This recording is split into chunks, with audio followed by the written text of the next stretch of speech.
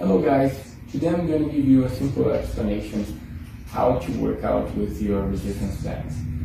Some people make the mistake to think that working out with uh, resistance bands is the same as working out with cables at the gym.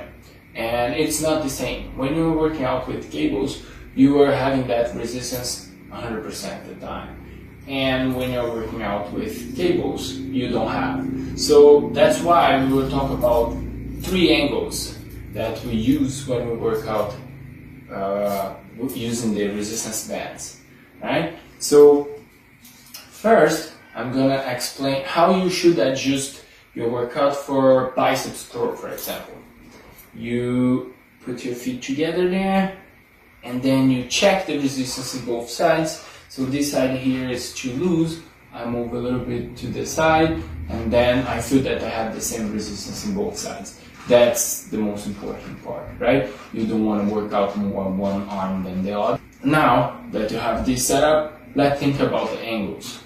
Uh, I'm gonna turn here on my side to show you the angles.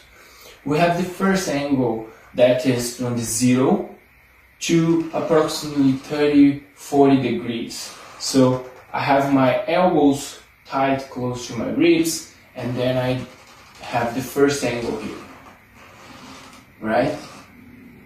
The second angle is from the 30, 40 degrees to around 80, 90 degrees here.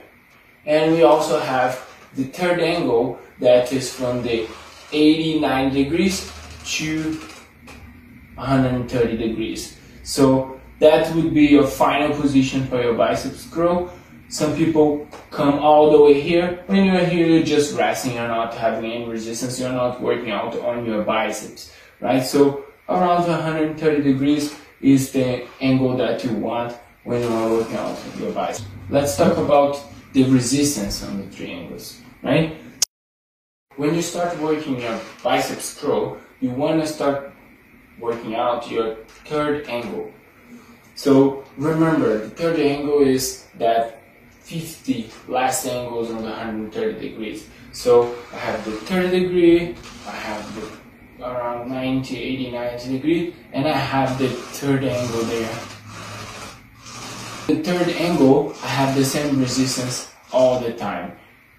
Think, if I am here on this position, I don't have the same resistance. It's too easy and that's what I'm trying to avoid. So I wanted the same resistance on the for the third angle, the final third angle. So how to work out the second angle? You're gonna put your feet wider apart and then you will see that it's too hard to go to the third degree and that's what you want.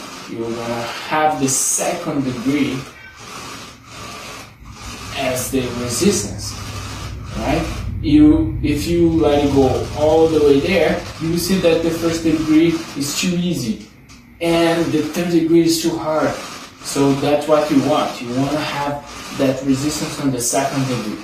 If you want to work on your first degree, then you're going to put your feet even wider apart and then you have that hard resistance. You will see that it's hard, too hard for the second and even too hard for the third so that's what you want. You want to have that first angle very hard. And that you work out your three angles. But remember, you need to do, do a few repetitions on each angle. Let's pretend I'm going to start on my third angle here. I'm going to do 10 repetitions, 15 repetitions. It depends of your, your resistance. And then I'm to do without stopping.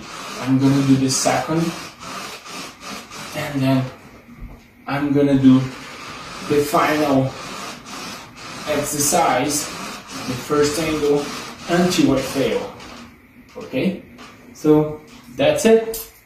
Thank you for your time and see you next.